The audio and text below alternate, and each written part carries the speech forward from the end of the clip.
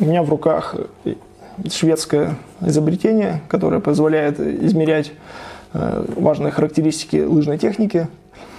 И также пульс, частоту толчков. И это называется, раньше называлось VMMove, сейчас они поменяли, называется Race Fox, но у меня пока что э, старая упаковка. Э, это официальный тренер для вазолопит принято, то есть официальный знак, очень все серьезно. Давайте распакуем. Значит, э, в комплект достаточно простой. Здесь имеется кабелек, инструкция, сам датчик и ремень. Ремень стандартный поларовский. Ну, э, по размерам подойдет и гармин, и полар. Я пробовал. Даже вот если прочитать, вот как вот написано, вот эти заклепки, да, они такие же, как у Полара, один в один.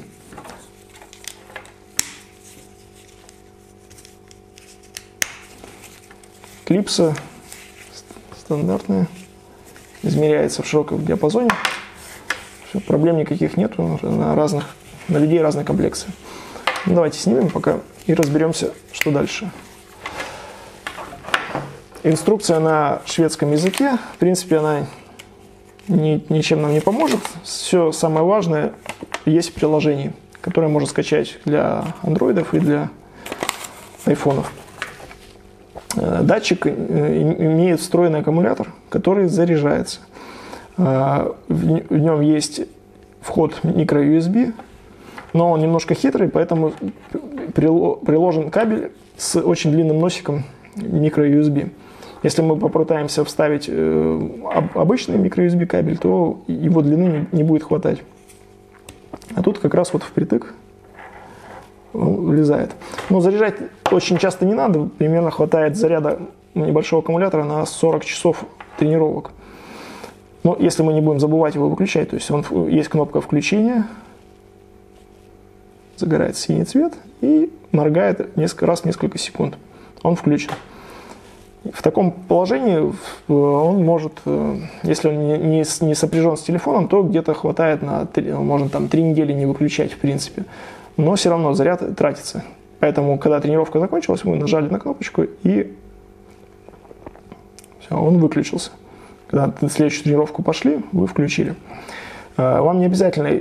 Это протокол, протокол передачи данных через Bluetooth, поэтому нет смысла... Ну, э, можно его использовать не только с приложением э, RaceFox но и так же, как вот со Стравой, Эндомонда, можно использовать и получать на свой смартфон пульс, все значения записывать без каких-либо проблем. То есть это универсальный датчик, который, в принципе, недорого, недорого стоит и можно использовать не только для лыж, но и для любой другой активности.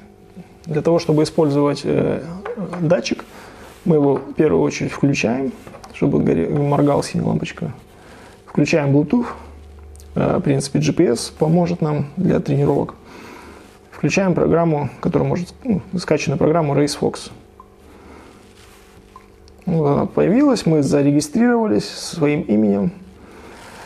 Э, теперь, надо, теперь нам надо подсоединить, то есть нам ни в коем случае не надо датчик соединять с, с, со смартфоном посредством сопряжения в настройках. То есть мы видим здесь доступное э, устройство Heart Rate Sensor, но мы его не должны сопрягать. Если мы его сопряжем, то программа не сможет с ним соединиться.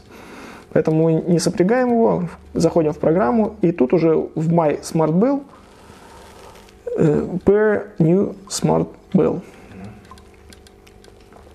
Он начинает искать датчики Race Fox, Race Move, и предлагает, и найдя один из них, предлагает shake your smart bell to pair, то есть предлагает его встряхнуть. Мы начинаем его трясти. О, all done. Вот для чего нужен э, датчик акселерометр.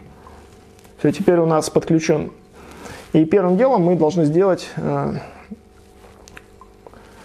э, exercise тех, тех, техник тест. То есть мы можем сделать тест для даблполинга и также для попеременного по переменной классике. Для попеременной классики нам на, найти пологий подъем примерно на одну минуту и постараться проехать в него ну, с гоночной скоростью. Нажмем старт, и через там, определенное время он начнется.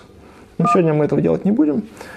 Также тест для даблполинга используется равнинная трасса, желательно вообще без подъемов. На 8, на, ее будет ехать 8 минут. Э, доста, ну, марафонской скорости, может быть, чуть выше, ближе гоночной. Также мы едем, э, проезжаем, получаем данные свои среднестатистические. Это такой тест получается, и э, по, этому, по, по которому программа оценивает ваш уровень тренированности и предлагает уже, соответственно, развивать слабые звенья вашей, вашей формы. То есть это возможно, если это даблполинг, то, скорее всего, вам надо будет тренировать атаку. Измеряя, э, к примеру, если мы насчитали на тесте, что у нас атака была 11, то попро- на, стоит попробовать в течение 8 минут, то стоит попробовать 11,5-12 в течение 1 минуты и сделать таких несколько интервалов.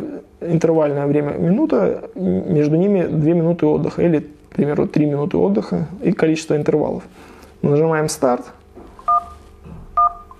и пошло. Трек стартит. Мы примерно начинаем ехать, измеряется пульс, но так и не пишется. То есть он очень специфичный. Э, вот, только вот сейчас вот один, один из, одна из попыток 5, да, то есть он очень четко чувствует движение тела и может сказать, ну, в принципе, понятно, что 3 это очень мало, то есть это не похоже даже на движение тела. Набираются эти данные, и вот слышите, когда атака меньше 11,5,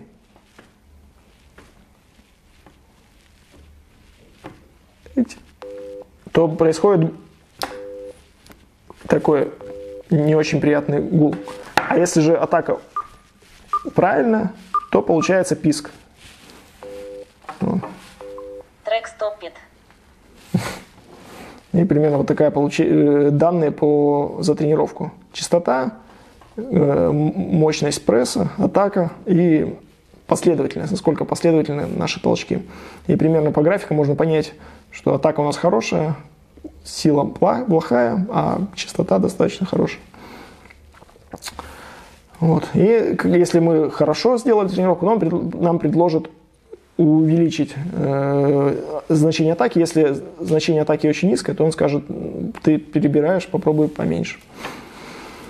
Э, также э, есть приложение, э, которое тебя будет тренировать достаточно серьезно. То есть э, э разрешение вазолопит, если мы нажмем, а, оно дает нам возможность, к примеру, какое, какое место мы хотим за, за, занять на лазолопит. Вот, к примеру, а, от 16 тысяч, ну просто доехать, до попробовать его,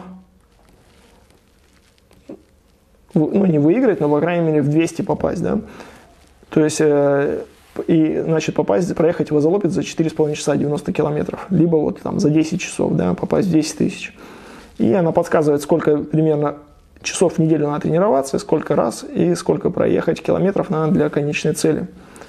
И если вот мы возьмем э, в 300, в топ-300 попасть, надо тренироваться 7, 7, от 7 до 9 часов, 6-8 раз в неделю и проехать где-то 1000 километров.